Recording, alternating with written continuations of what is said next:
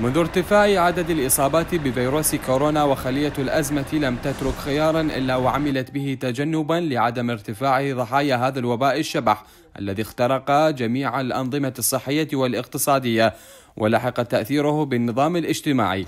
أسلوب جديد لتوعية المواطنين من سماء محافظة كربلاء. بالمناشير التي توضح خطورة هذا الوباء وضرورة الالتزام بحظر التجوال. توصيات خلية الأزمة في محافظة كربلاء.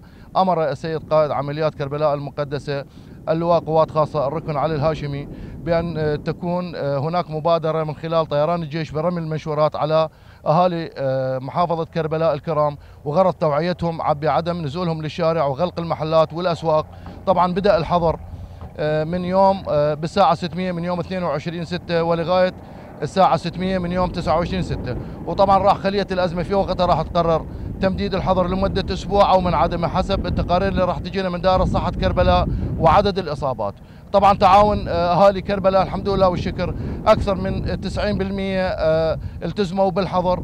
ومثل ما شاهدتوا حضراتكم وقنواتكم الكريمة أنه تجولتوا في المحافظة وشفت بالنسبة لحظر التجوال ملتزمين به إن شاء الله. صراع مستمر لفيروس قاتل مع حكومة جديدة ووزير صحة جديد والمواطن العراقي يترقب كل ما هو جديد ليجدد حياته لواقع أفضل.